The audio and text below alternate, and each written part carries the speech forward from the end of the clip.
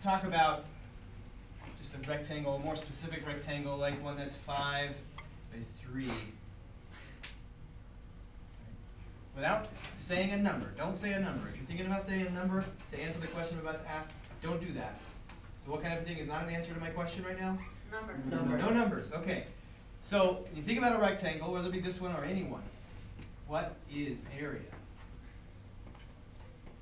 Hayden? How many squares per unit center? Alright, a nice, uh, specific, kind of general answer, right? The number of squares that can fit inside of a thing in a space, right?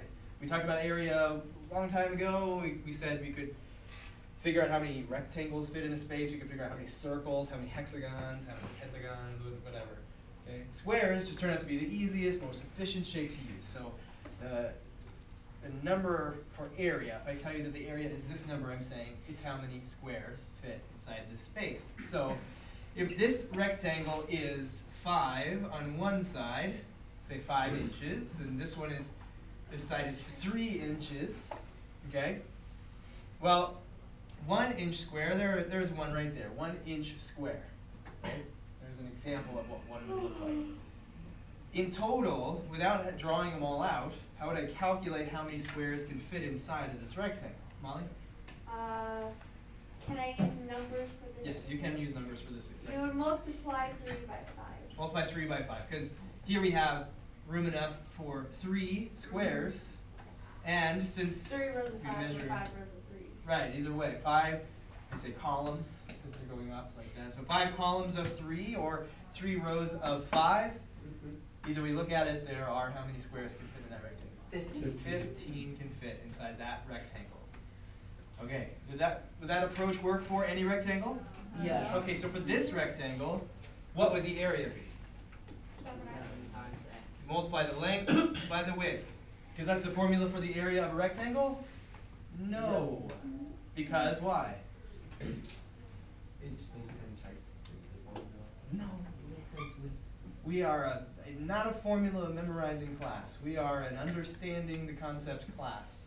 There are four sides instead of two. Four sides instead of two. That's why seven times x? Well. Oh, X is. Why, why would seven times x tell me about the area of this rectangle, yes? Because we're timesing the the number of rows by the number of columns. Well said, okay, so number of columns would be seven, the number of rows that we can fit would be x, right? It's variable, what is that? It could be three, it could be twenty-five, we don't know, but whatever it would be, whatever it turns out to be, we would multiply by seven, and it would tell us how many rows, sorry, yeah, how many rows of seven would fit inside of this rectangle, okay? Now, the perimeter, without telling me some formula for perimeter, tell me what perimeter is. Uh, It's the, um, length around the outside edge of the shape. It's a length, right? We measure a length around the whole thing. If I were walking around this rectangle and just measuring how far I walked in total, that's the perimeter, right? So all the way around, that's the perimeter. That's what perimeter is. So if you walked all the way around this, this rectangle, how far will you go? What will be the perimeter? Reader? Never mind, I like have no clue. Chris?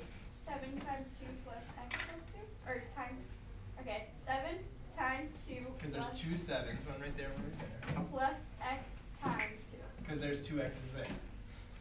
That makes sense, right? I'm gonna, in, in walking around this thing, I'll walk past two sevens, and I'll walk past two x's, and I would just add those together. So the perimeter would be two x plus fourteen, right? Two times seven is fourteen. Okay? We all agree? Agreed, Does it make sense? makes sense. Okay? Did we memorize some formulas today? No. I hope not.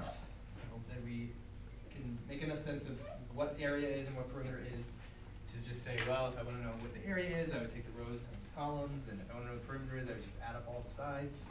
Yes. Could you do like seven times two plus two X? That's pretty much what this is. This is just seven times two is fourteen.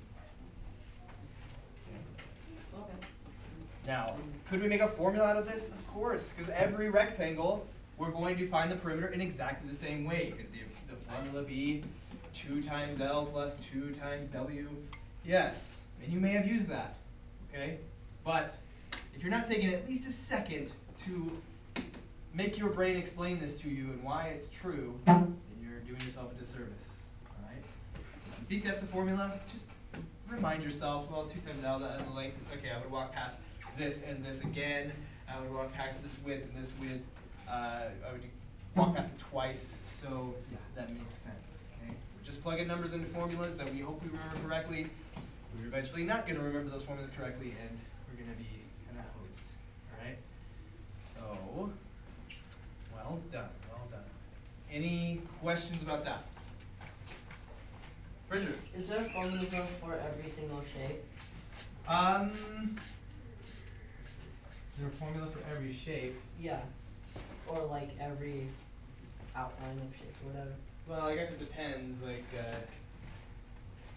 I suppose you could make a formula for every shape on some things, like, um, uh, for a rectangle, it's easier because rectangles are special, two sides are always equal to each other, the other two sides are always equal to each other, so you know that that's gonna be that way. If you just did it for like a, a pentagon, then it's harder because not there's no rules about how big the sides would have to be. So the, the formula would have to be like uh, side A plus side B so plus side C plus side D plus side E. Mm-hmm. That's the only formula I could really come up with. So But I mean like they don't have straight sides, they have like they're all curved oh, curving is now you're talking about calculus. for calculus. Well, calculus is I mean that yeah I guess you could come up with it, but uh, finding the area of a curvy thing is a very big challenge, and it's not not really a formula for that. No. more like uh, an approach. And we have to have all sorts of stipulations on that. What's the point of calculus? What's the point? Yeah. Uh, well, it could be summed up in two, two questions. If this is a graph, which we haven't started to do yet in this class, this is fun. Oh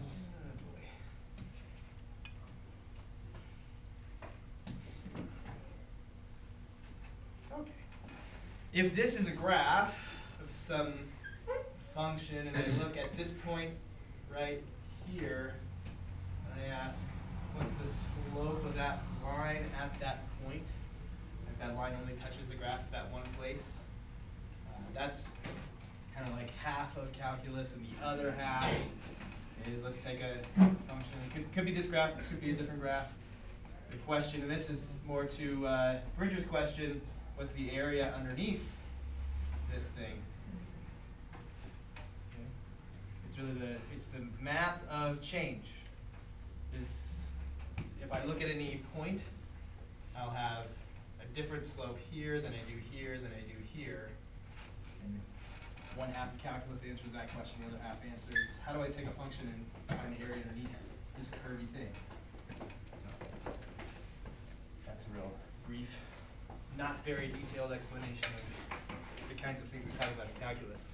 But those two questions, to answer those and to maybe take them a little bit farther takes all of calculus to do.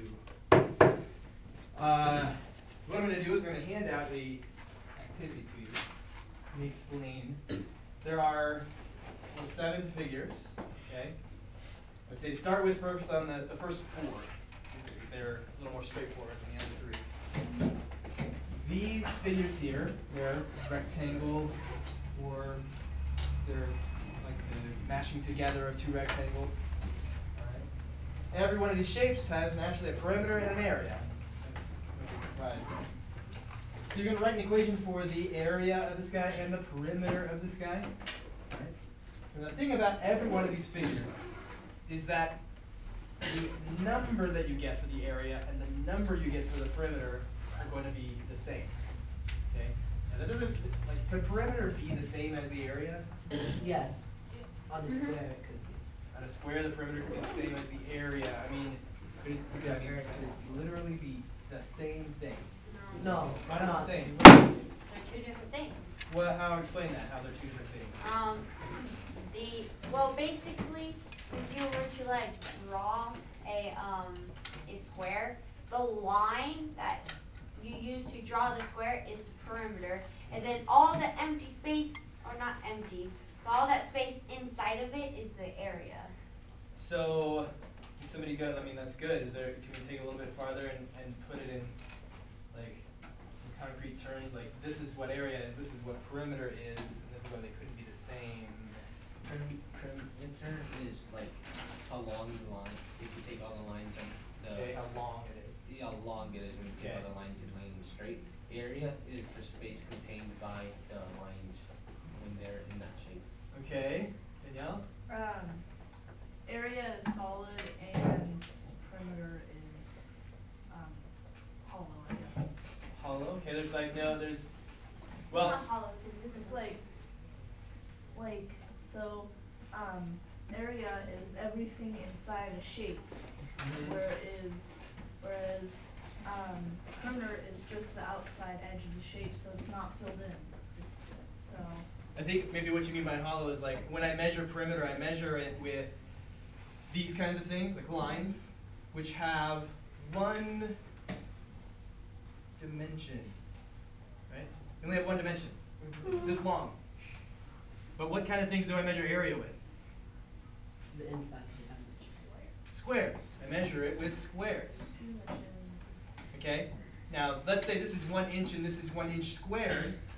One equals one, but one inch doesn't equal one inch squared, right? Right. So, the thing is about these figures, they happen to have the same number for the area and the same number for the perimeter. The number that you get for the area, the number that you get for the perimeter are the same number, okay? I'm talking about this at length because I don't want you to get confused and think, oh, the area and the perimeter are the same. They could be, one is measured in squares, one is measured in lines, lengths, alright? Mm-hmm. So they are different things, but the numbers happen to be. Okay, so to start with, showing your work back here on the back, right, for figure A, figure B, figure C, and so on. I did do it on. I want you to do it here. Terrible. Um, I want you to write equations for the area and perimeter of each of these, okay? And then those things are gonna be equal to each other, so I want you to write an equation given that the area and perimeter are, the numbers are equal to each other, okay? That may come to, or I, you may have to wait a bit, but at least you can write the area and perimeter equations, and then if need be, I'll come along and we'll all talk about it together about how we can use the fact that the perimeter and area are equal. or the- the So just like we did at this, for this math star, Pretty much, except for, if you wanna go one step further, okay? there's one Showing step- how they're equal. Not showing how they're equal, we have to be told that they're equal, because there's no way to know that unless somebody tells us. Like, can you ever know what the area of this rectangle is, like, as a set number? Nope. No way to know until I know what, what? Thank you, Ethan. Um, X. Until I know x, right? Can I ever just figure out what x is if I don't know what the area is? No, but what I am telling you, what we are gonna assume about the figures on the paper is that the area and the perimeter have the same number, right? So they would be equal to each other. Right? There's a little bit more in the, the uh, directions there. May prove helpful. Okay, let's pretend like this figure is part of that thing there, do it, okay? Yeah. So I've, s- I've written an equation for the area. Now we're gonna write an equation for the perimeter, okay, there it is. The thing that I said on the worksheet there about, well, what did I say about the area and perimeter on that worksheet? They're the same. That the values are the same, the numbers that, that represent the, the perimeter and the area are the same. So, like, with an equation, I'm saying this, okay, it's not quite where we wanna be, but I am saying that the area, the number for the area is equal to the number for the perimeter, right? Mm-hmm. But Right. that's unsolvable, I can't solve A equals B. I don't know what A is, I don't know what P is, and so I'm just kinda stuck. But, what is A? The area. Oh, I How do I calculate it? Seven A. Oh, so A can be replaced with seven x. Right. How about P? It can be replaced with two X plus fourteen. Seventeen, huh? Now we have an equation. Right. There's x's, and constants in there, right? And it's a little different than what we solved before. But that's the point of this whole thing, like, is to see what do we do when we have variables on both sides. Yeah, um, I don't know. I know how to do.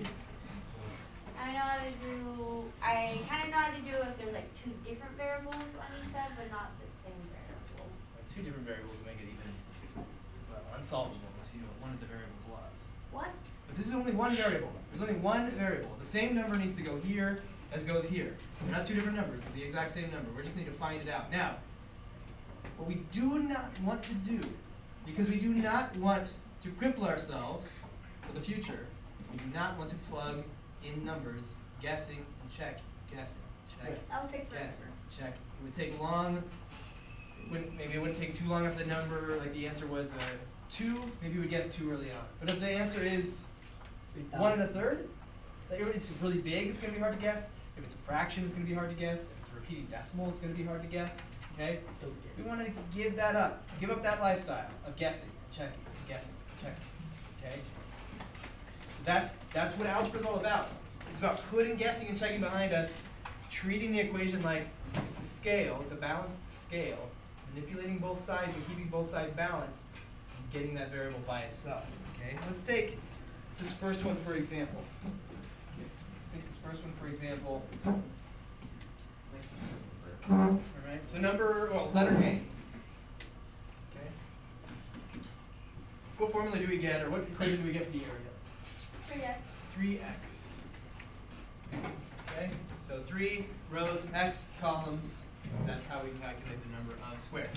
Perimeter, Two X. Two x plus six. two x plus six. Two x plus six. Okay? So, what we're saying is, if I take three x, I get some number, right? So I get twenty thousand, which is not what is gonna happen here. Okay, just, just to say, twenty thousand. Then say I take that same x and I plug it in here, also get twenty thousand, except for, of course, that's a made-up number, that's not gonna be the case. We can, as I said, plug numbers here and here, see when the, the area and the perimeter finally come out to be the same number, and will have found the value of x. You will have not made any progress in learning algebra.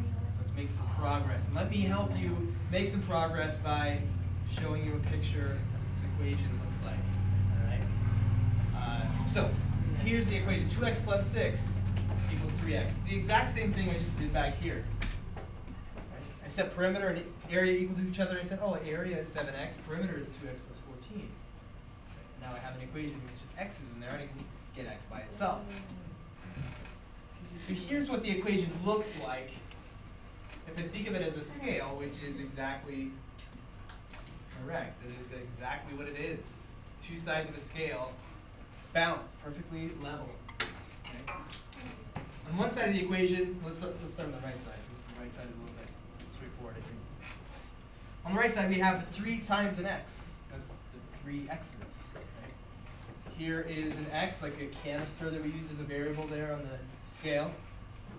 Okay, there's two of them. That's two x. Here's three x. Three times an x. An x three times. Over here we have an x two times. So there's one, two of them, plus six. Right, six things that represent one. They represent one. So far, you understand what I'm saying? Yeah. So far, so good. Okay. So here's how algebra works. We mess with both sides of the scale until we just have one x on one side and a bunch of ones on the other side, and then the scale is telling us this x, this one x is the same as this many ones, and so you know what x is, right? You know how many are in one canister. So what we're gonna do is mess around with the scale, taking things from both sides, adding things to both sides, whatever we wanna do to both sides, keeping both sides balanced, until there's one x on one side and just a bunch of numbers, just a bunch of ones on the other side. So can you see what you might do if this was an actual scale? What would you add to or take away? So Uh, you could take like the, I guess like the X's, you could take the two and cancel that out and then take the other two. So take these off, Yeah. which is great because on one of the sides we want to just have a bunch of ones. So we take them off. They're over here now. They're on the on the table. They're not there anymore. Right now, what's what's happening to the scale? It's unbalanced. Which side is up? The left side is up because it's lighter now. So we will balance it out. We'll take off two of the x's here. Okay, they're gone. Now let's see where we stand. Over there we have a bunch of ones. That's great. Like, we don't want x's on the same side as ones. We want x's on the other side. Can you tell me from looking at this picture how much one x is? Six. There's only one x left on this side, right? There's only one x left, and it's equal to six. Let's see it. The equation, we're gonna do the exact same thing. We're gonna take two x from this side, and take two x from this side, and we get no x's, zero, right? And just a six on this side. Equals three x minus two x is just one x. And so just kind of our good luck, x is six, and we know what x is.